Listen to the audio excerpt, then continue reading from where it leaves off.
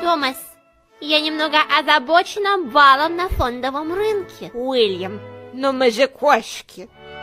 Превосходно.